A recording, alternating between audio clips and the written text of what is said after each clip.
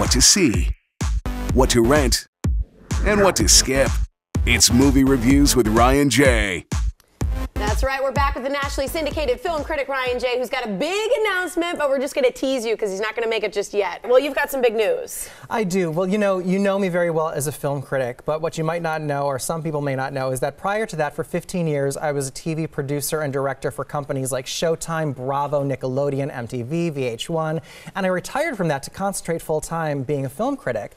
But now I've been coaxed back behind the camera to direct a feature length documentary about the stories behind and the cultural impact of the songs from The Wizard of Oz. Okay. That is exciting. Thank you. Congratulations. Thank you. I'm very excited. Yeah, I want to talk about this this project because I think a lot of people will will probably understand why you're mm-hmm. involved because a lot of people know how knowledgeable you are about the Wizard of Oz and what a passion it is for you. Mm-hmm. But how did it come that you would get involved in this? Well, last year I was at Ozstravaganza in New York, which is the, the country's largest annual Wizard of Oz festival. And I was doing a presentation about Legends of Oz from last year. And I met Aaron Harburg, who was also there as a special guest, presenting on behalf of his great grandfather, who's the lyricist from The Wizard of Oz. We hit it off right away. We became great friends. And he'd been talking about making this documentary for a few years. And when he learned about my experience, and we felt like we clicked really well, and our passions sort of aligned in terms of Oz, and we decided to collaborate on this together. We actually went into production last October Okay. on this movie, and we put a trailer together of our work so far. Would you like to see it? Love Yeah. to. All right, cool. Let's take a look at that.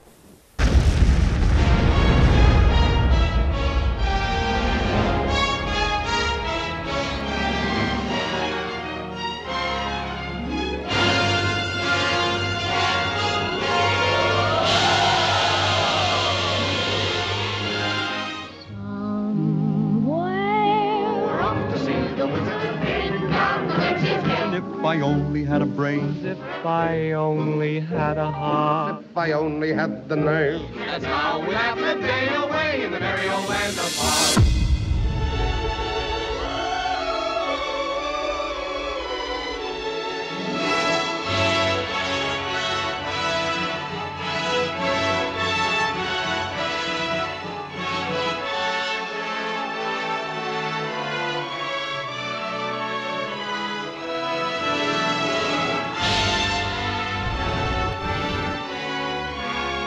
With The Wizard of Oz, I don't think it would have remained as iconic as it has without the songs. The music, the lyrics are such an integral part of what makes The Wizard of Oz effective, what has made it not only a success 75 years ago, but this huge avalanche of icon that it has become. The best material written for my father was Harold and Yip. If I were king of the forest, showed his bravado. If I were king of the forest.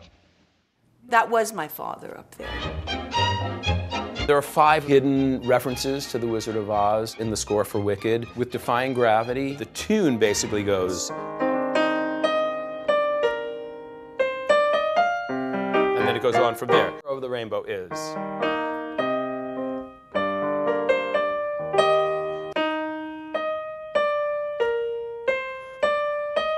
Those are the first seven notes.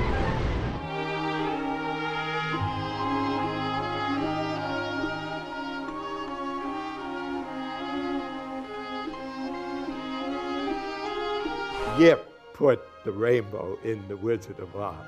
The word rainbow does not appear even once in the original book by L. Frank Baum.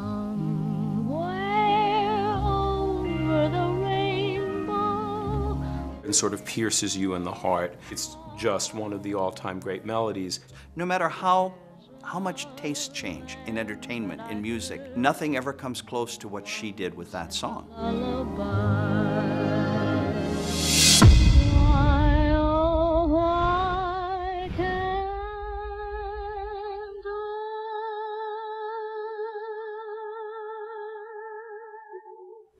know if a truer statement has been said about the song "Somewhere Over the Rainbow." It's such a beautiful song. So, what's next Thank for the project? you. Thank you. Um, well, I'm very excited because we've already lined up some very impressive A-list celebrities to participate in this film. So Cool. we're moving forward. We're very excited, and I, we just need a little bit of help with the production moving forward. So Okay. we launched a crowdfunding campaign. Yeah, so there's some perks for supporting it, right? There are, for even like just at the $15 level, you'll already get a digital copy of the film for free, guaranteed when it's finished. And then also we have some great artwork and T-shirts that were designed by Aaron Harburg, officially licensed, featuring the lyrics from The Wizard of Oz. So any level is greatly appreciated. And we have a website that you can go to to uh, contribute or to even like share this on your Facebook page or any other social media. So the name of that website is thesoundofozmovie.com. Cool. So I'd appreciate it if anybody just, you know, go there, see the trailer again and share it with your friends, you know? It's perfect. People can find it on your Facebook page, all that kind of stuff.